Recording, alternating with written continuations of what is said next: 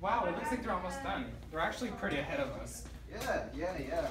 Oh, I have an idea.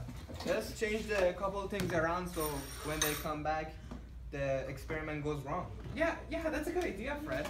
Actually, we should we should change this water for some vinegar. Hell yeah. That way we can. see.